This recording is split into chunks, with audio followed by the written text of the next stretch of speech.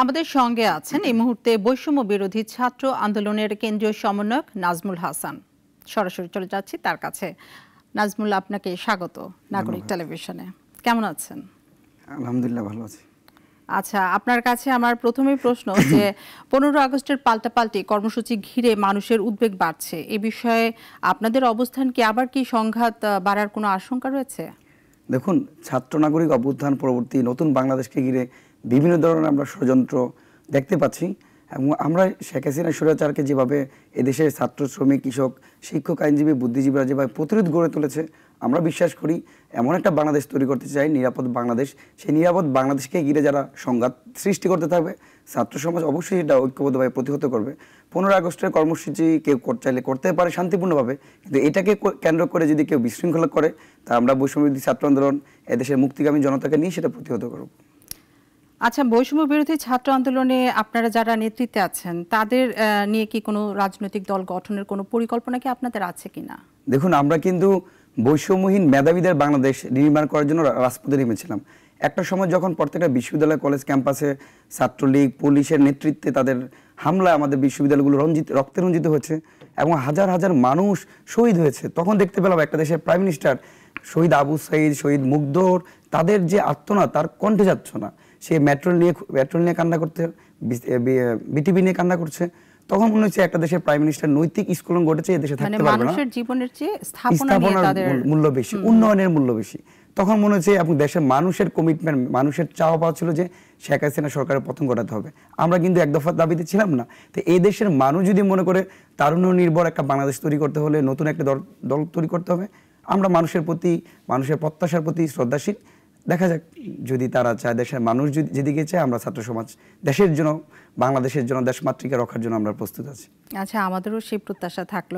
তা রাজনৈতিক দলগুলো দ্রুত নির্বাচিত প্রতিনিধিদের হাতে ক্ষমতা হস্তান্তরের দাবি কিন্তু মানে অলরেডি তুলে ফেলেছে। তা বৈষম্য বিরোধী ছাত্র আন্দোলন এই ক্ষেত্রে কি চাইছে?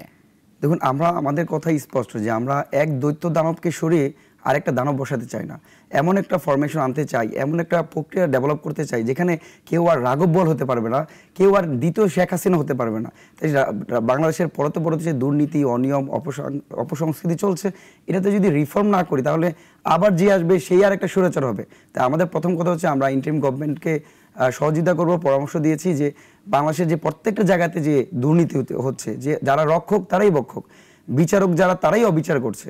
দুর্নীতি দমন কমিশনের দায়িত্বে যারা আছে তারাই দুর্নীতি করছে। এই জায়গাগুলো প্রশাসনের প্রত্যেকটা জায়গাতে এরকম বা সচিবালয় জায়গা থেকে আছে দেখছি আমরা সতেরো লাখ টাকা দিয়ে ছাগল কাণ্ডের ঘটনা আমরা দেখতে পেয়েছি।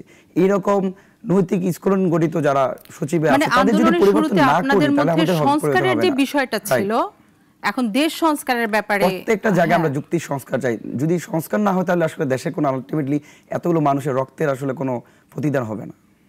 আচ্ছা অন্তর্বর্তী সরকারের কারও বক্তব্য বা কিছু সিদ্ধান্ত নিয়ে কিন্তু আলোচনা, সমালোচনা চলছে অলরেডি তো তাদের কাছে আপনাদের প্রত্যাশাটা কি? আমাদের একটা বাক্য আমরা স্পষ্ট বলতে চাই, আমরা যেভাবে আপনাদেরকে সেখানে রেখেছি, আপনারা যদি সেখান থেকে যদি কোনো অন্য কিছু করেন, আবার আপনাদেরকে আমরা সরাতে বাধ্য হব। তো আমরা তাদেরকে আহ্বান জানাই যে দেশের মানুষ অনেক স্বপ্ন নিয়ে একটা বাংলাদেশ তৈরি করতে চেয়েছে। সেই বাংলাদেশটা যেন আপনারা নস্বাত না করেন, আপনাদেরকে আরও বেশি সচেতন হওয়া দরকার আরও বেশি সতর্ক থাকা দরকার এবং কোন, কোনো কিছু বলার আগে আরও বেশি ভাবা উচিত। একজন ছাত্র প্রতিনিধি হিসেবে বলব যে আপনাদের তো আসলে মন্ত্রণালয়গুলো সামলানো উচিত, দেশকে সামলানো উচিত। সেক্ষেত্রে যত কম কথা বলা যায় বা আপনাদের মুখপাত্র দিয়ে যদি কথাগুলো বলেন, তাহলে দেশের মানুষ বিব্রত হবে না। এমন কাজ করবে না দেশের মধ্যে আবার বিশৃঙ্খল হয়। যদি হয় আবার ছাত্র নেতৃবৃন্দ ছাত্র সমাজ আপনাদের বিরুদ্ধে লাগতে, আপনাদের বিরুদ্ধে কথা বলতে তারা এক সময় নিবে না। হ্যাঁ সেই প্রত্যাশা আমাদের সবারই থাকল। নাজমুল হাসান আপনাকে অসংখ্য ধন্যবাদ। ধন্যবাদ জানাচ্ছি। আমি একটা বিষয় আহ্বান জানাতে চাই যে আমাদের যে আবু সাইদ মুগ্ধদের শহীদের বিনিময়ে যে একটা বাংলাদেশ চেয়েছিলাম আমরা এমন একটা বাংলাদেশ তৈরি করতে চাই যেই বাংলাদেশের প্রত্যন্ত অঞ্চলে একটা মানুষ স্বাস্থ্যসেবা নিশ্চিত করতে পারবে যেই বাংলাদেশের গণমাধ্যমের কর্মীরা স্বাধীনভাবে সত্য কথা বলতে পারবে যেই বাংলাদেশের বিচার ব্যবস্থা স্বাধীন থাকবে এবং আমরা এমন একটা বাংলাদেশ তৈরি করতে চাই যেই বাংলাদেশে একজন সাধারণ মানুষ তাদের প্রত্যক্ষ ভোটের মাধ্যমে তাদের নেতা নির্বাচিত করতে চাবে সেই বাংলাদেশের প্রত্যয়ে আমরা সকলের সহযোগিতা চাই। জি অবশ্যই। ধন্যবাদ ধন্যবাদ।